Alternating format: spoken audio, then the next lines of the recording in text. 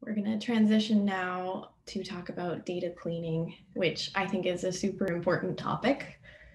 Um, it's often that we'll end up with some data that's not very easy to work with, and that's what we'll be discussing ways to fix that.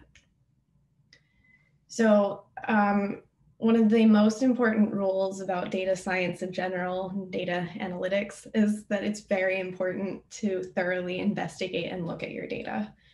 Um, there will be surprising things that you will find in your data where someone has maybe entered in something incorrectly, or there's just weird patterns or features about your data. Um, so highly recommend that even when you think it's perfect, just take a, take a look uh, just in case.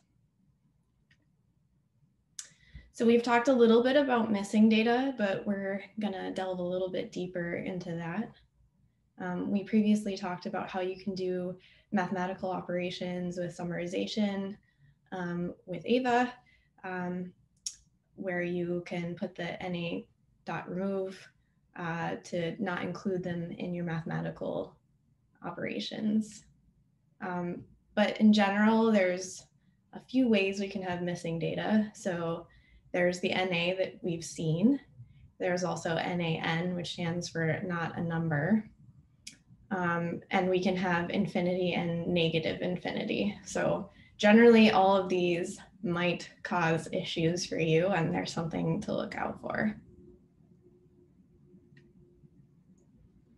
Um, the other thing is that sometimes they can be coded differently in the data that you receive from other programs or um, from your collaborators that might have a code. It may sometimes be a letter instead of a numeric um, that defines that it's missing. Um, so you can use the is NA for looking for NA uh, data, is NaN for NaNs, is infinite for infinite. That works for both positive and negative. Um, and there's is finite, meaning that it's not infinite. So there's a few uh, helpful commands for that.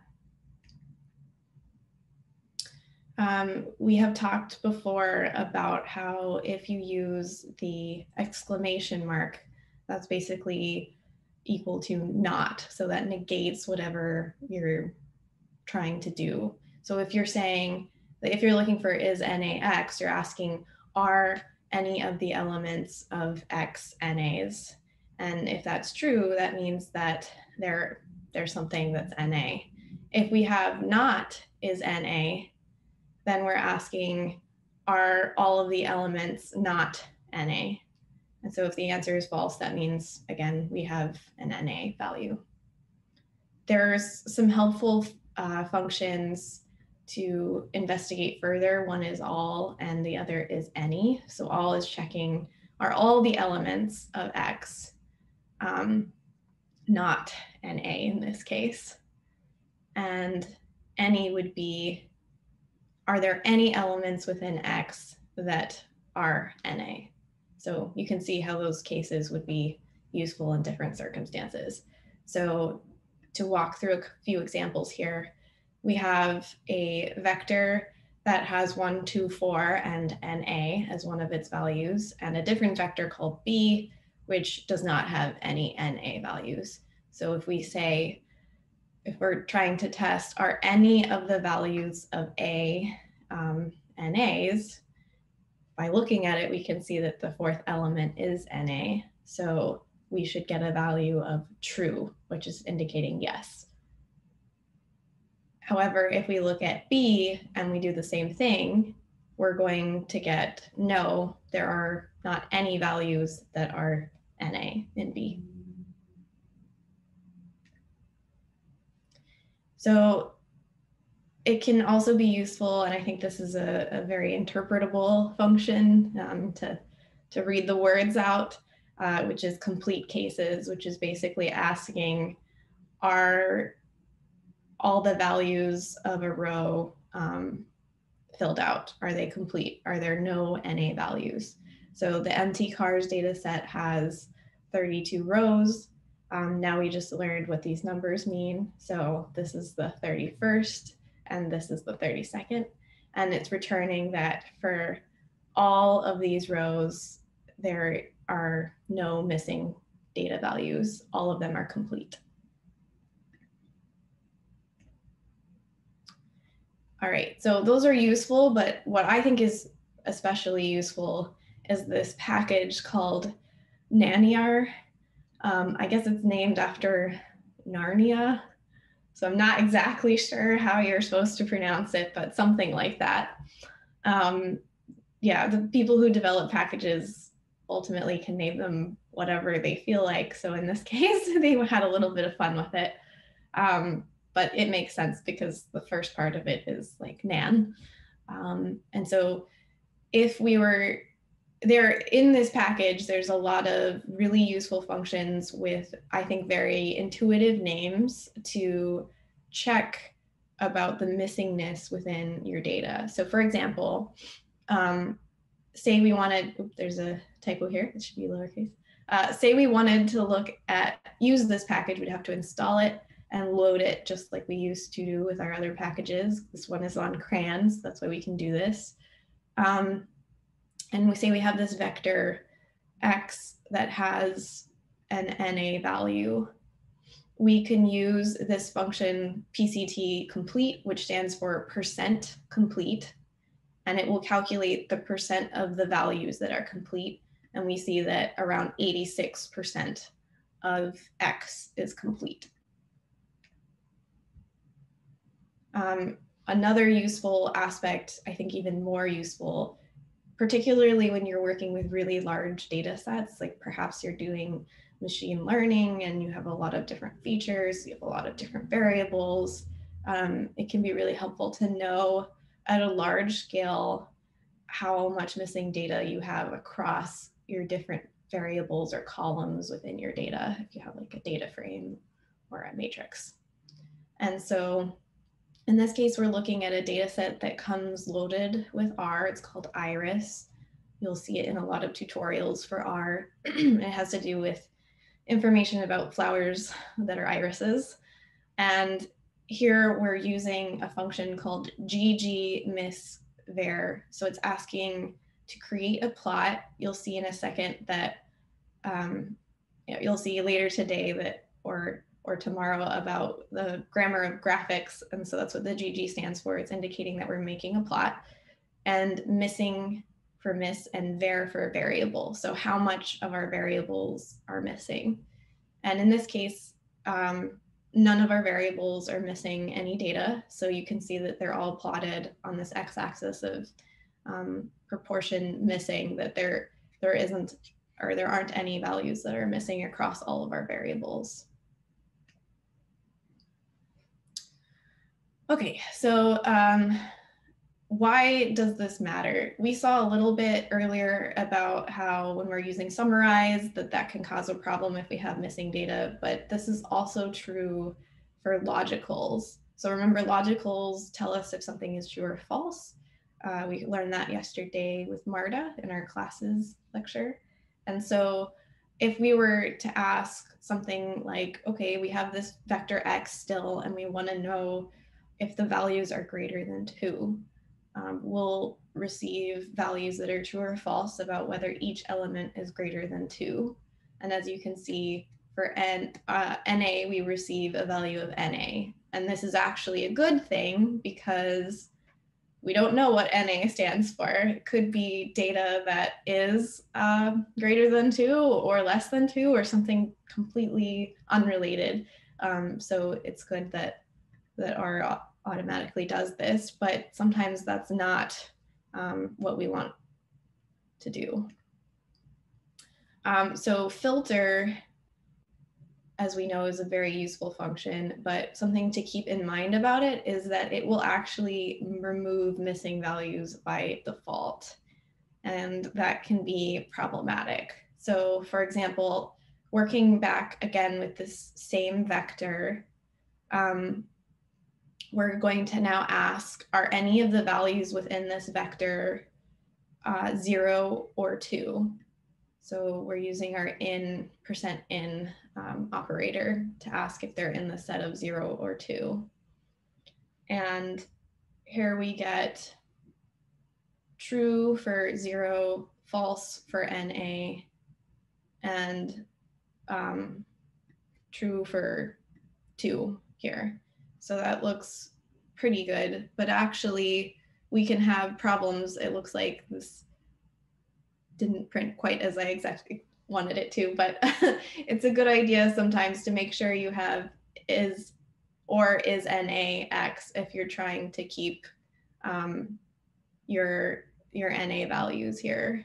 Um, this is a bit confusing in this output here uh, because we have a true value, but if we wanted to later look for our NA values, this is important uh, to keep because remember, we don't know if our NA actually is in the set of zero or two, or if it's something completely unrelated.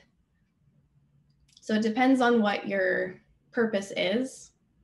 The point is to be careful whenever you have NA values and recheck what your operations are doing, even if they're logical. So it doesn't matter if they're just mathematical. Okay, so the drop NA function of the tidyr package is particularly useful if you just want to remove basically uh, all of your NA values. However, it's very aggressive. So it's important to remember that this function will drop all rows with any missing data in any column. So if we create a tibble like this, this is how we make a tibble. We can define X. Now we know a little bit more based on Marta's lecture. We can define a column named X and a column named Y. And in here we have a list of values and we can see that there's three NA values. So when we look at our tibble, we see in the first row, we have an NA for column two. In the second row, we have an NA for column one. And then our fourth column, we also have an NA value. If we do drop NA on this data frame, we will be left with only the third row. But sometimes that's what you want. So it's very useful for that. Um, you can, however, do drop NA for a particular column if you specify. All right. Um, so the other thing is we covered yesterday tabulation um, and missing data can also make this a bit tricky. So there's just a couple of aspects that I wanted to go over when we're using table. You can use this argument use NA and you can specify if you want to do if any or always. And this will define whether we are going to see an NA column in our table that will specify if we have NA values. So we will get this column, our, our information about our NA values, if we use if any, only if there are NA values. So in our case, we have a vector called Z and we don't have any NA values. So we, when we use if any, we're not going to see an NA column here. However, if we use always, we're asking for R to always report if there are any NA values, even if there aren't any. And so we can see here we have zero listed for NA. So if you forget this, you can always use the question mark table um, or to see more information about how this uh, function works. Okay. All right, and that brings us to the first part of our lab. Now for something that I think is really important, uh, recoding variables. So this can be really useful if you have inconsistent uh, data entry, which happens quite often. So for example, you have a data set where um, maybe your collaborator, maybe it was you, uh, has included, for example, gender as male, M, capital M, lowercase m, all these different forms. And, you know, trying to keep that, trying to get information from a table, for example, about how many males are included in your data set would be quite difficult because you'd have to sum across all of these different versions of what um, male means. And so in this case, it would be nice to recode all of these different versions into one. Um, to keep things simple and to allow you to do certain operations. So there's a nifty function called recode, which is quite intuitive. I think it's a, a nice name. Um, to use this, you'll need to use generally the mutate function if you're working within a data frame. And so we would be taking, for example, a data set and we have within this data a column called gender and we want to mutate or change that column um, by recoding that column uh, to indicate what we want the current values uh, to be. And so in this case, we want to take our our capital M, our lowercase m, and man, and we want to make them all male. And we might already have male in the data, and that's fine. We can leave it as is. You could also use the if else function or case when, but um, we're not going to cover that. But if you if you uh, feel like checking that out and testing out how we might do that, um, that could be an exercise that would be useful. Um, the other thing that's really helpful is separating columns. So sometimes you will have, in this case, we're showing a vector, uh, and I'll go through that in a second, but this would be a useful thing to do if, for example, you had, I think yesterday in one of the breakout groups, someone was saying that they had, um, you know, data, if you have multiple pieces of data in a single column, uh, that can be make it difficult to perform certain operations when you want to know about each aspect within that column. So you can separate that into multiple columns. So here we're in this example, we're creating a tibble, um, which is has a variable called x, and within it is a vector of these character strings. And we want to separate them into uh, different columns that will be first, second, and third. So we're going to use the separate function. Um, we describe which which aspect of our tibble and we want to separate into these three pieces and we want to name those pieces.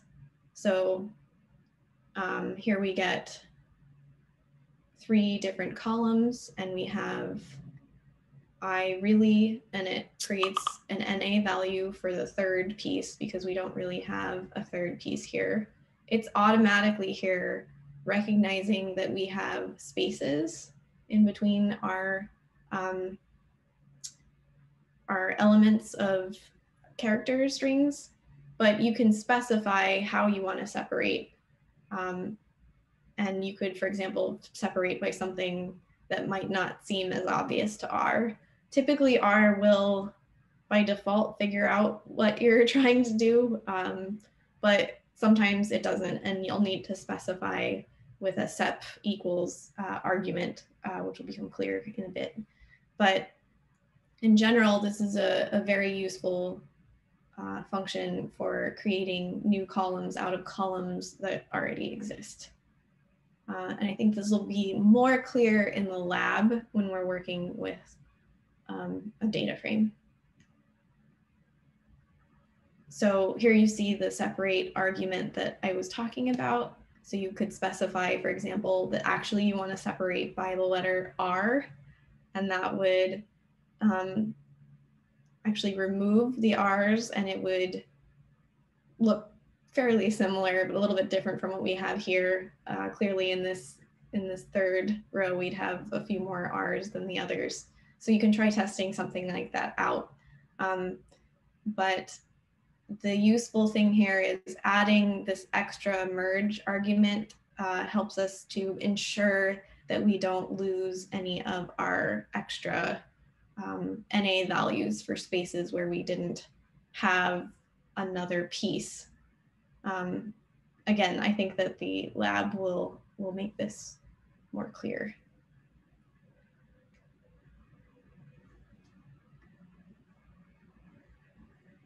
And then For uniting columns, uh, there are cases, and I do remember also that this was something that someone had a, a case in our breakout room when we were talking about dates where they had day and month and year across different columns and they wanted to make it a date variable and use the LubriDate package. And they could do that by first uniting those three columns into one.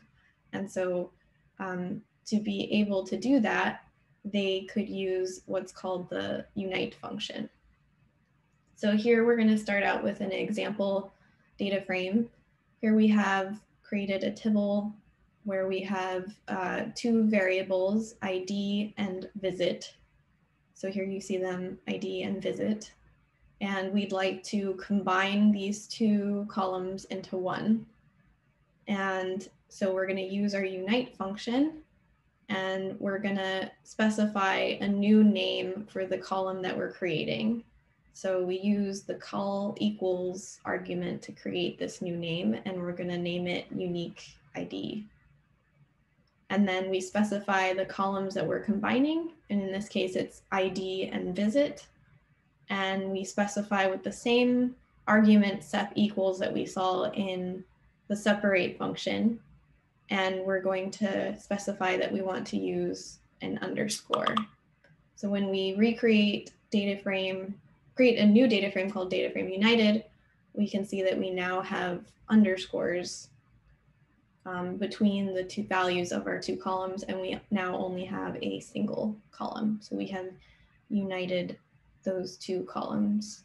And you can see now, if you wanted to separate this again, you could use separate the separate function and specify the unique ID um, column and specify that you wanted to separate based on um, this underscore. Again, you can also let R try and it would probably uh, separate based on the underscore automatically. But it is probably generally better practice to specify what you're separating by because um, you never know how how it might work on a very large data set. Um, it might look good at the top of the data frame, but maybe down below there's some strange things happening. I'm just gonna check the chat with the faculty. Looks like we're okay. All right. And then we're going to touch very briefly on string functions. So um, this is, I think, a very, very useful thing to know about if you work with a lot of character string data. Um, so if you do text mining and that sort of thing, it's it's useful. There's also some other suites of packages related to text mining in general, but stringr is um, a package that we're going to be using to look at a whole, uh, to look at pieces within our character strings as opposed to just the entire string that we've already been using. So a stringr package, package is spelled like this, uh, like string and R. And if you are familiar with other uh, programming languages uh, or base R, you might be familiar with a function called grep and gsub, which is helpful for finding uh, aspects of your files or your code. And um, so stringr is helpful with this sort of thing. Uh, and it has basically equivalent functions that we're going to go over. Uh, but all of the functions start with str and an underscore. And we're going to go over a few of them, but I recommend if you're really interested in working with strings that you check out the stringr package because there are many, many, many functions that are very useful. Also, I have posted an open case studies link on our resources on the website, and there are a couple of case studies that go very, very in depth on how to work with this. This is particularly useful if you're importing PDF files. Um, so if you happen to have data that you need to use from a report or something, uh, then it can be really useful to be able to work with strings. Okay, so if we have tidyverse installed and we want to load library stringr, um, or we installed stringr separately, um, we would load it as typical.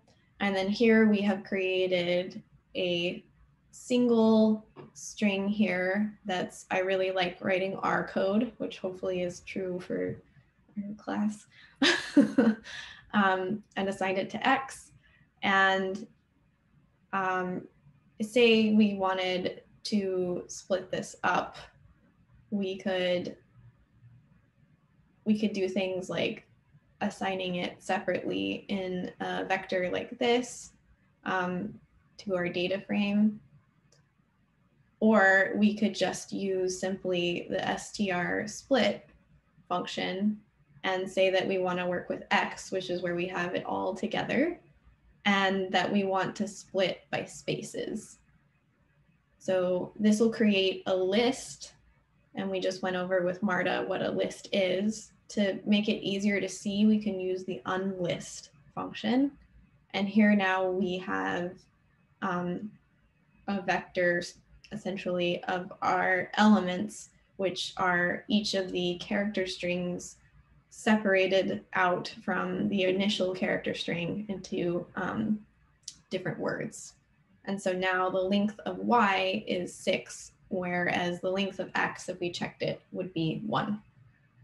Um, and you can see where this might be useful. Okay, so some of you might be familiar with something called a regular expression or regex, sometimes they're called. So if you're not familiar with that term, that's okay. We're gonna discuss it together, uh, but you can also check out or Google what a regular expression is. But basically, these are special characters that don't mean um, what they are based on what they are in writing. So for example, a period doesn't necessarily just mean period. It means that's also a wild card and it could match any character. So um, we've seen this in R because we know that the equal sign is used to assign variables. So it doesn't mean equals um, per se.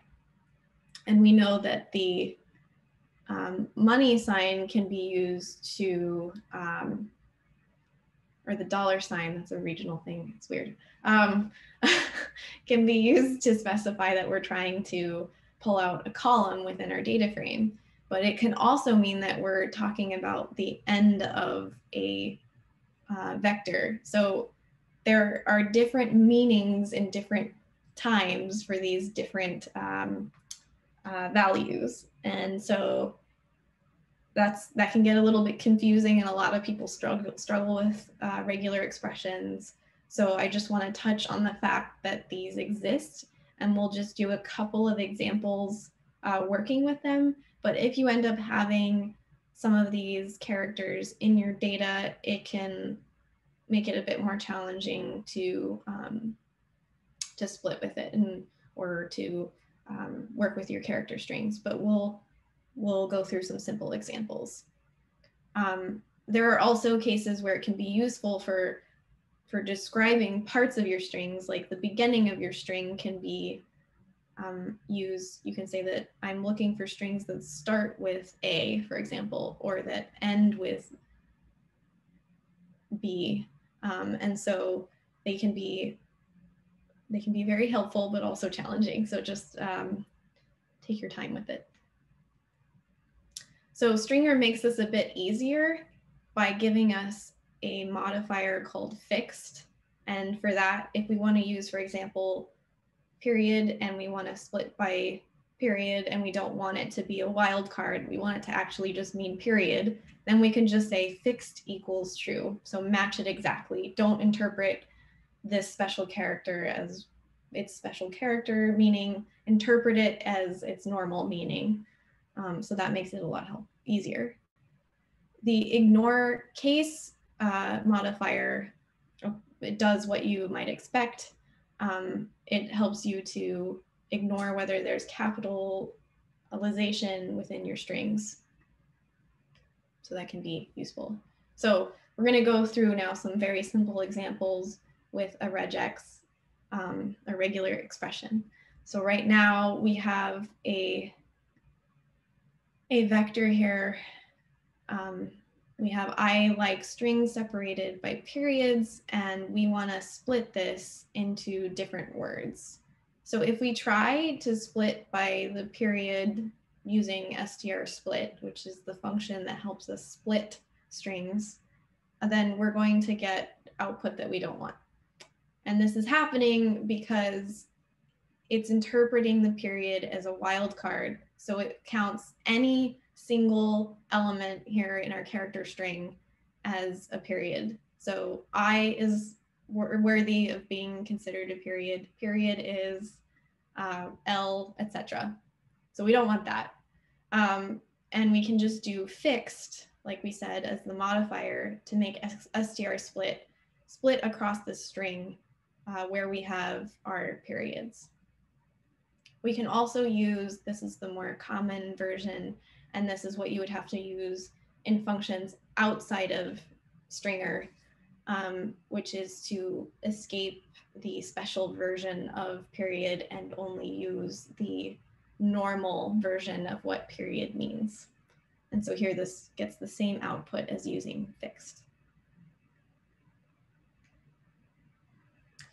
So other functions in stringr that are especially useful, again, there's um, maybe, I don't know, 20 or 30 of them. There's a lot of functions, but uh, two that are particularly useful and kind of equivalent to grep, if you're familiar with that, and gsub, are str detect and str replace. So detect is looking for uh, patterns that match uh, the character that you're asking to look for and replace looks for a pattern and changes it to whatever replacement you have specified. So we're going to show some simple data, or not simple data, but some simple examples using some data. And this is kind of interesting if you're interested in Baltimore City uh, government if you're living in Baltimore, I know many of you are not, so this will not be as interesting to you, but you might find similar data for wherever you're living. Um, so we're going to read in some salary data for uh, the Baltimore government employees. And so say we're interested in the last name Rawlings because we are curious how much our mayor was making at the time then we could use str detect to look for that name within the data set. So in this case, we're starting with the salary data set and we're asking to filter that data by matches in the variable name. So here's our name variable that match the name Rawlings. And so here you can see that there's three people on the salary list that have the last name Rawlings. Um, and here we can see our the mayor and how much their salary was. It's kind of crazy what you can find on the internet. Um, okay, so there's also a couple of variants of this. So there's str replace and str replace all. So str replace um, is our like I said, we're, we're not just detecting, but we're going to change out the value. And there are two versions. The first one will only replace the first instance, and the second one will replace all instances. So we're gonna walk through this. So um, this is a typo, this should be lowercase n. I apologize for that, but this um, I was trying to update things late last night. Um, so here we're going to replace A's with J's. And so if we do that for the first instance, in the initial version, there this would say Aaron, A-A-R-O-N. Um, but here they have gotten replaced, the first A's that we see are replaced with J's. Um, this is lowercase a. This is why the capital A is not changed. So this is, if we had included ignore case, then capital A would have been replaced. But in this case, stringr by default is going to pay attention to the case of the characters. And so here we're replacing, we're just looking at the two here is looking at the head. We want to know the first two values. So that's all that is, but we're using the str replace on the particular variable name of the salary data set, and we're replacing A's with J's. And so you can see that Patricia here has two other A's that aren't replaced in this particular value. And in Petra, we also have another A also not replaced. But if we use str replace all, then in each particular value of the name column of our salary data, all A's that are lowercase again will be replaced with a J. So that's how that works. And then just one last piece of um, information for working with strings that can be really useful is the paste and paste zero functions. And these are helpful for joining strings together. So in this case, we are creating the strings that we're working with. We, we want to use visit and we want to have five visit um, elements and we want to have an underscore in between. So we are pasting the word visit to each element within one through five and separating them with an underscore, which gives us this output. But say, for example, we want that to give us a single output, we can use um, a collapse argument and specify how we want to collapse it. So you could collapse this with nothing and it would actually just squish it all together. But in this case, we specified um, an underscore. You would still need to put quotes though around nothing if you do that. you can try that in a second um, in our lab. But here you can see now we have one single element here of all the visits combined into a giant string. The paste zero function is really useful because um, often we don't want anything in between. Uh, and for that, you can kind of skip this step. Um, it's kind of like I was describing with the collapse where you would have nothing as your separator instead of specifying that paste zero automatically puts nothing in between the two things that you're combining. Um, however, in general, it's useful to have something between elements like this because if you want to separate it out later using the separate function, it's a lot easier to do that if you already have a, a character that's being used to separate those elements. Okay. And so now we are ready for the second part of our data cleaning lab.